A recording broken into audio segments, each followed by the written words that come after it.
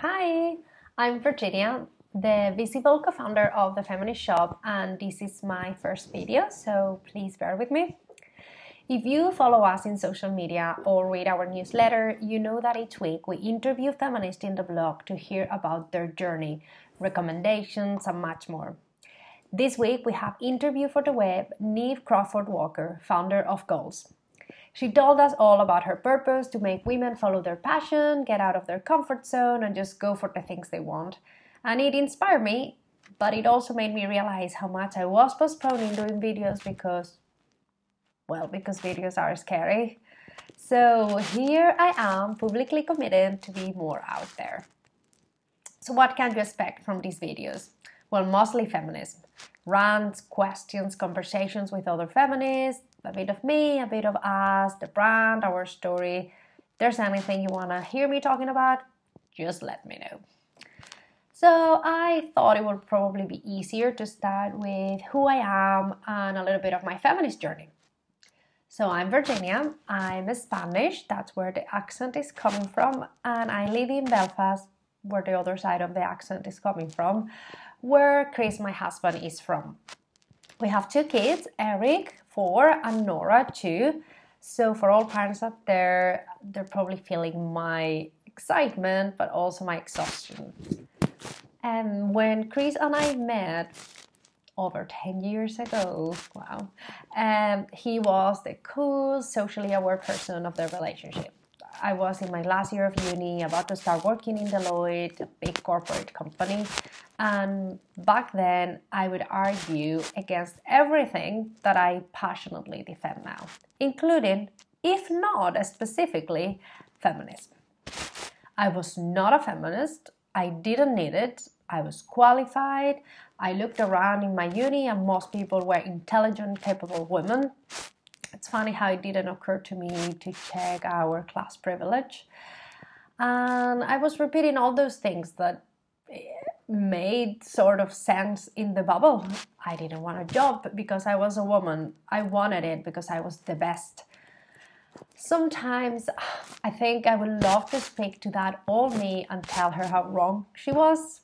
But to be honest, most time I'm happy that she discovered it herself through her journey. I did say things and defended things that I am not proud of. And that is fine. I mean, I, I don't think I was an awful person by then, but I do think I was wrong. And I do believe that my wrongness was not helping to build the world I want to live in. I always say that it was my father in law who made me a feminist I don't think he was really aware of the monster he was creating.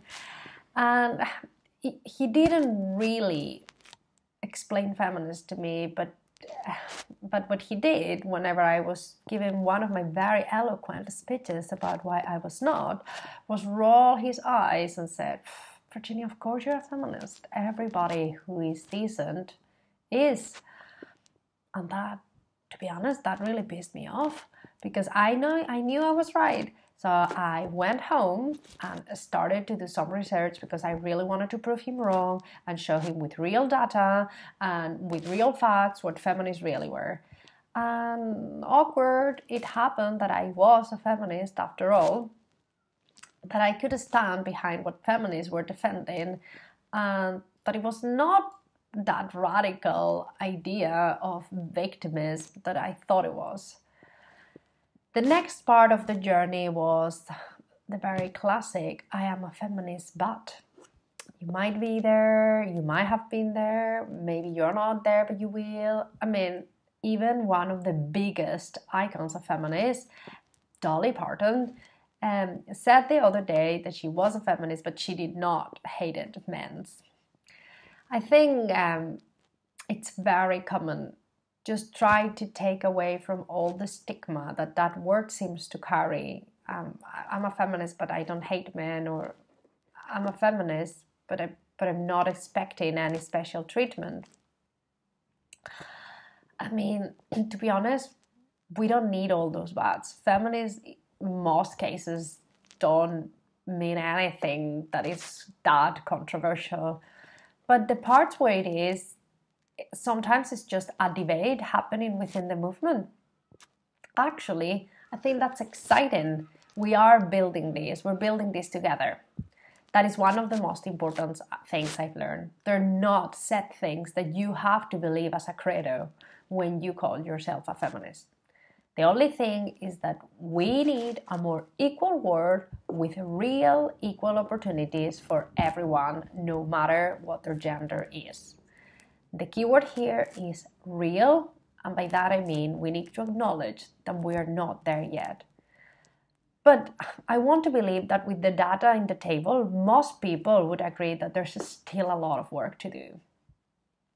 I found quite fascinated how in feminists there are passionate women, well, feminist people defending one thing and some other very passionately defending the opposite.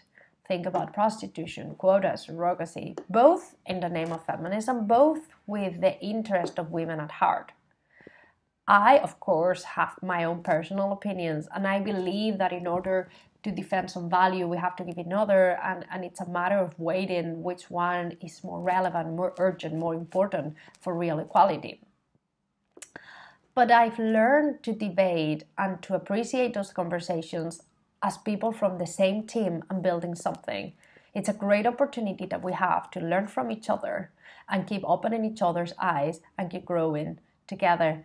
And you know, it's okay, it's agree to disagree and keep informing ourselves and growing if we keep in mind that what we have together is bigger than what separates us. We need to have those conversations because speaking with myself, I'm not the person I was fresh out of uni, the one full of ambition, naivety, the one was completely unaware of her privilege because people proved me wrong. People opened my eyes, they pointed me to books, shows, films, they kept having these conversations with me. I'm not going to hide who I was under the carpet because this is my journey, and I think it's exciting to see how nothing is set on stone. People change and people grow, and because of that, societies change and societies grow. I'm not here to tell you that I have the answer, that I'm at the end of some journey that you have to go through and every journey is my own because it's not true. This is all happening. We are all building this. We are all asking ourselves questions and we are all moving forward. So we're all in a journey to listen and challenge and discover and do our own work while inviting people to do theirs but what I'm going to ask you is to keep making the statement, to keep talking, to keep calling out the jokes, to keep informing people, ed- educating people, sending people to watch and read and, and talk diverse. I mean, who knows? There's the chance that one of them end up becoming a passionate person, just like me, writing children's book, even building a website about feminism. And the worst case scenario is that they won't and they think you're really annoying, but you know, you've ruined their coffees and their dinner, and this is another fun part of being a feminist killjoy. So yeah, this is the person I am now. I am now, and I'm aware that I need to keep learning and growing. And the things that I believe now they might not be relevant in some months, some years. I am okay with that, and I'm here to challenge my thoughts and hopefully challenge some of yours too on the way. So, my goal, the one that I'm committing today to do in this extremely awkward video, is to invite you to be part of my journey, to let you in, and to hopefully become part of yours. So, let's talk. Hit me with questions.